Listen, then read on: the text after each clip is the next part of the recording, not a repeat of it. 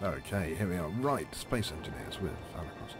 So what have I been doing? Well, I built this little ship, a little welder, um, when I was working on stuff, and I built this space station in survival mode.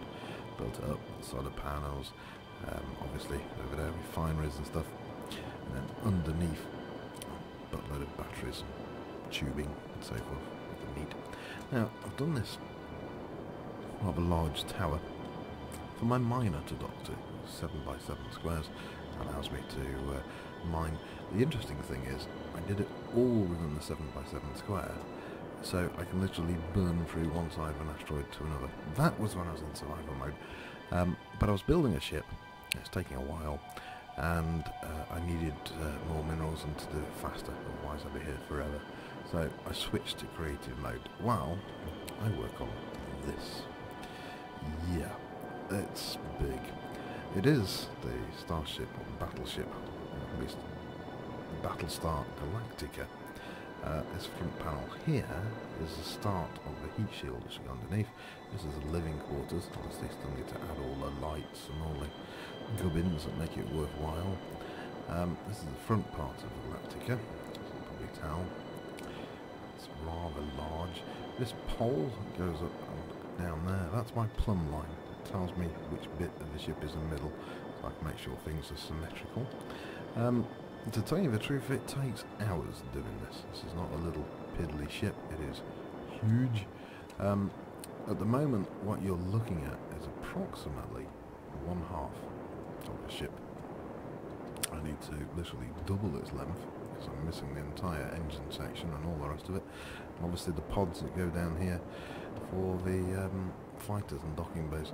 I don't think you're going to be able to fly the ship, not unless you've got no asteroids, because this ship will be so big you will fly through an asteroid before realising it. Um, I am making the ship heavily armoured, so you will be able to blast the crap out of it.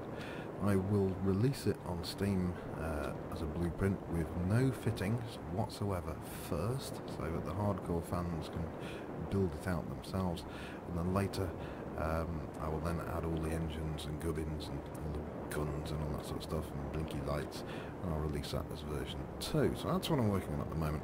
That's why I've not been around. Um, it is a huge, huge, huge ship by any means and it takes hours, just hours and hours and hours literally throw the key away and that's where I am, that's where I'm at and uh, when it's done, God help you, but uh, it will be.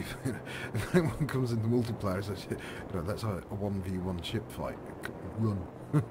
this thing will kick your ass. it, it is um, thick. I'm, I'm, making it. Uh, what's the word? I'm using in places light armor blocks because it uh, looks better, matches the original better, but it can be in places there's six or seven armor blocks deep and thick it, it's heavily armoured. It's not just a, a, lightweight paper toy. And that's it. That's uh, where I am at the moment. I'm going to upload this now to YouTube. Try and keep it short. Stop me uploading megabytes and megabytes. And uh, yeah, I will release this when it's done. But uh, it's going to be a big ship. you know, so when I built the ship, it was like 8 million tons. Forget that.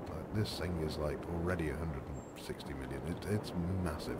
So uh, yeah, this is going to be a huge, huge ship. There we are. This is Anarkros, and uh, yeah, have fun, people.